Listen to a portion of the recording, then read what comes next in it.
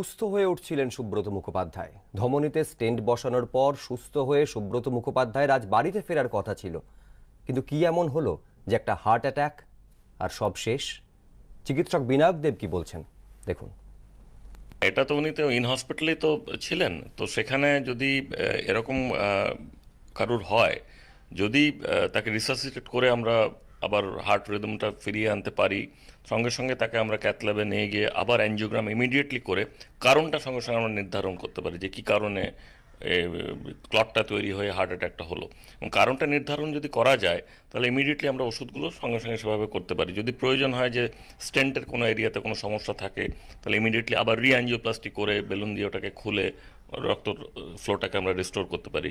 কিন্তু কিছু কিছু ক্ষেত্রে যেটা হয় যে কোনো সময়ই আর পাওয়া যায় না। সেখানে মানে কার্ডিয়াক অ্যারেস্ট এত বড় হয় এবং এত ম্যাসিভ হয় হার্ট অ্যাটাকটা সেখানে মৃত্যু হয়ে যায়। সত্য।